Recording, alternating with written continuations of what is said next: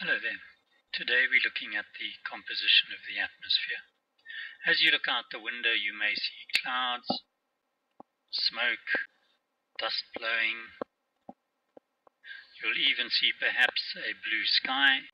These are all parts of the visible atmosphere. The sources of this dust and smoke include traffic from the roads, factories, suburbs, and mine dumps, creating the thick layer of smog that we know so well over Johannesburg. What we're concerned with today is more the invisible atmosphere. These are the gases that make up the bulk of the atmosphere. So if we look at a clean, dry atmosphere, i.e. no water, no clouds, no dust, no smoke, then we can look at the composition of the atmosphere. The composition is what is it made of. Well, the most important component of the clean, dry atmosphere is nitrogen. Nitrogen makes up a full 78% of the atmosphere. Now, a lot of people would say nitrogen's not important, but in fact, it's immensely important. If we all took away all the nitrogen instantly, then we would explode.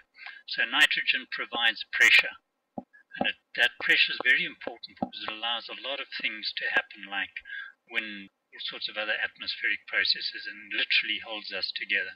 So the most important role of nitrogen is simply to provide pressure, although of course nitrogen is an important part of life processes. The next most important one is oxygen, most important in terms of volume, and oxygen makes up 21%. And as you know, oxygen is essential to life. If we didn't have oxygen, we would soon suffocate and die.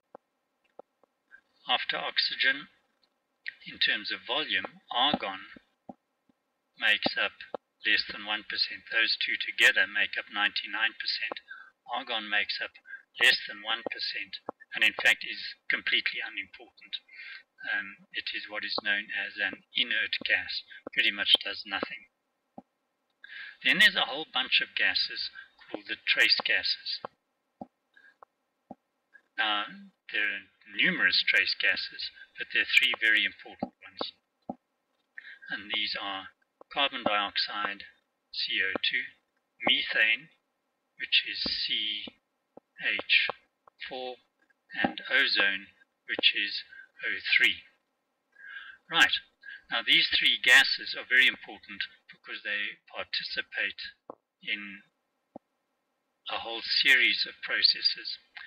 Um, some of which lead to the whole concept of global warming, and particularly CO2 and CH4 are implicated in global warming, and ozone O3 is very important in terms of protecting us from various radiation, which we'll talk about in a minute.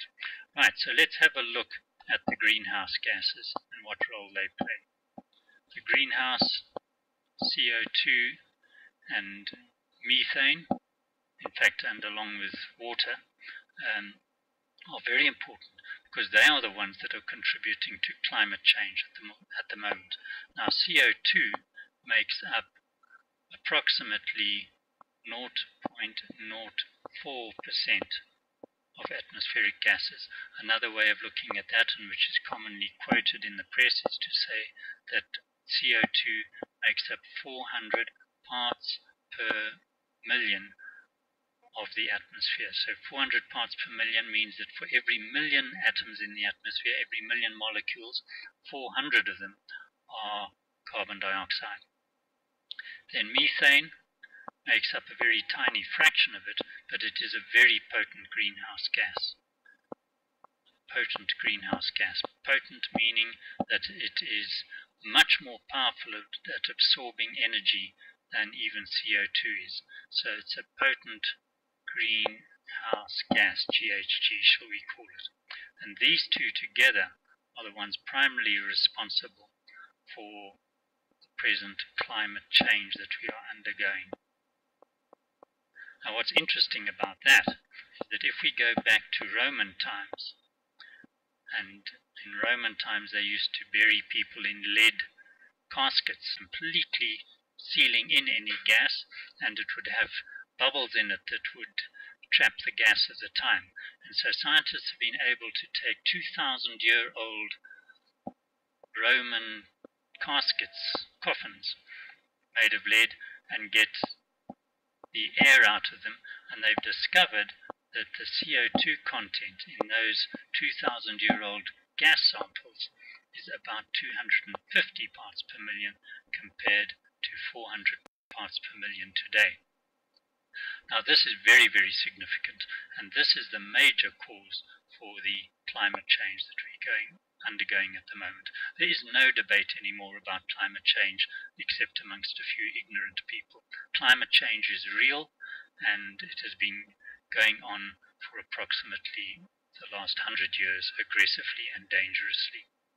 Right, well, let's leave these gases there now, and we will come back to ozone a bit later on in the next lesson.